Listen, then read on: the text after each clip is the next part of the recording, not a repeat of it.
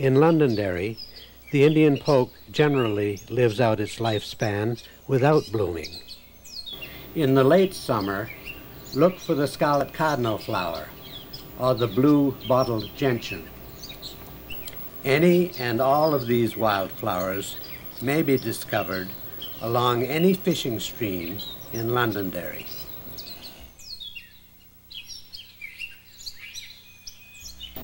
On the westerly side of Londonderry is Musquash Meadow. The musquash is an Indian name for muskrat. Muskrat is a relative of the beaver. In this area, the beavers have dammed up a small stream, turning a bog into a pond. Beavers are very clever builders, utilizing a location where high banks or stones aid in holding the water back behind their dams. Dams are made of interwoven sticks. If the area is large enough, the beavers maintain this dam indefinitely. Otherwise, they maintain the pond only until they have eaten the area clean, clean of the choice twigs and bark. Their favorite food in this area seems to be the oaks. Once they have eaten their favorite food, they move further along the stream and create another pond where fresh choice bark may be found. The old dam deteriorates and the first area returns to vegetation. After a few years, they return to the rejuvenated first pond, thus alternating between the two. A distinctive feature of the pond is the beaver lodge, also built of sticks and mud. This may be freestanding in the center of the pond, or it may be hidden under a high bank with only the entrance tunnel showing. In one of the beaver ponds in the Musquash, the great blue herons have found a last refuge against encroaching habitation. Here the herons have built large platform nests in dead trees. Here they lay their eggs and raise their young. With only an occasional bird song or the shrill peeping of the little frogs named hylas. These great birds noiselessly wend their majestic way over the waters. If we do not respect their solitude, they are in grave danger of becoming extinct in this area. Herons live on fish and will stand motionless for hours in a stream, waiting for an unsuspecting trout to swim by. The heron's spindly legs resembling reeds growing nearby.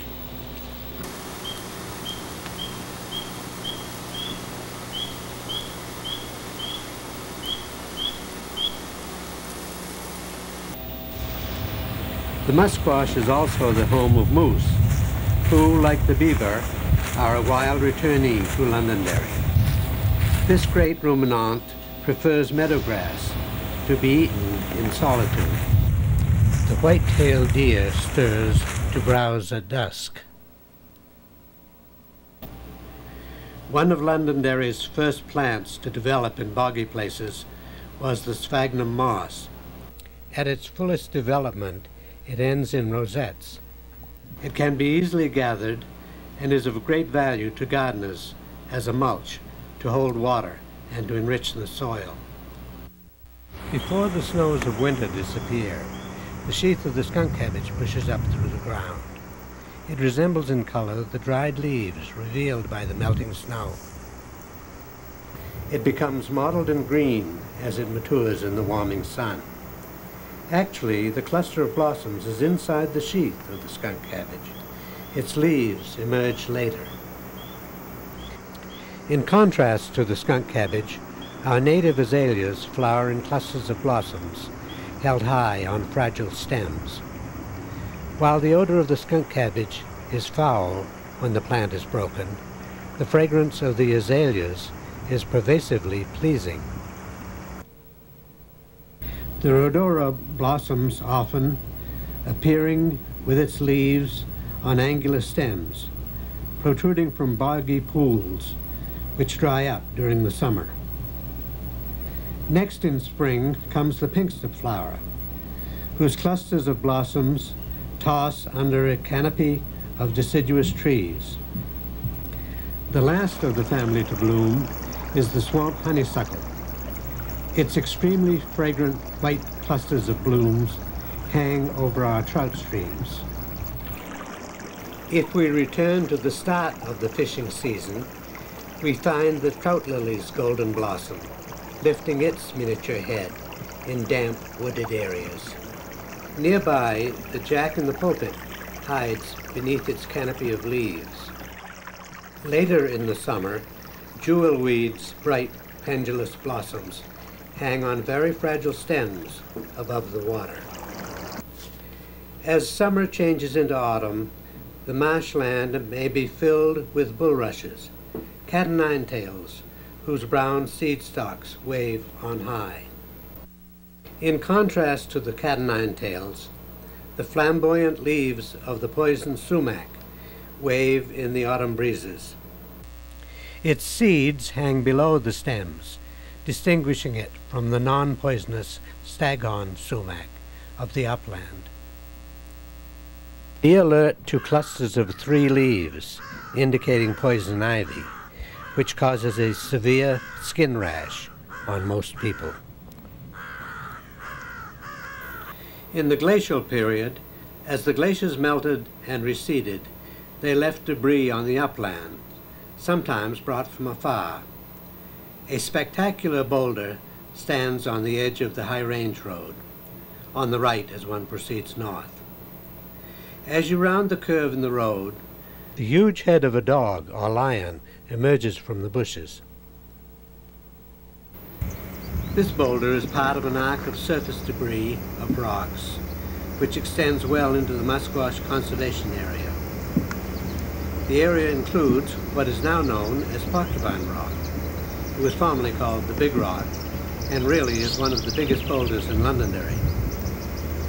It was given the name of Porcupine Rock because under one edge of it is a cave in which the porcupines have had their den for years.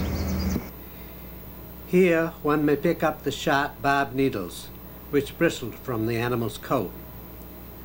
On occasions, a porcupine may be seen in a nearby tree, nibbling on its leaves or chewing on its bark. On the upland, the bedrock has been covered, for the most part, with a soil which supports a varied plant and animal life. The milkweed's colorful clusters of blooms are abundant and may be found in any clearing where the wind has carried its seeds. In the forest, one may come upon the ghost flower or Indian pipe. In early spring, we might find the trailing arbutus, commonly called the mayflower in our area. The trailing arbutus ranges in color from pure white to a medium pink and may be found hiding under fallen leaves. Its fragrance is elusively sweet.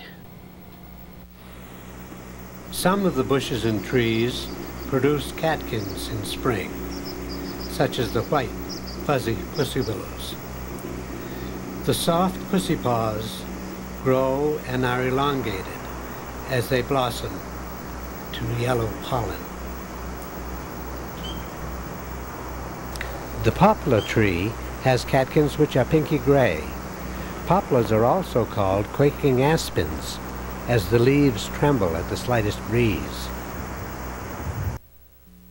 We might even find a white birch tree with its warm-toned catkins hanging like fringe. An unusual form in nature are the fiddleheads, ferns, which in the spring emerge and unfurl into various fronds. The brake fern, when mature, stands tall upon its brittle stem, topped by a canopy of fronds. The maidenhair fern is a miniature variety, growing under a foot tall in moist ground. Another tiny fern is the walking fern, unique in that it grows almost exclusively on rocks.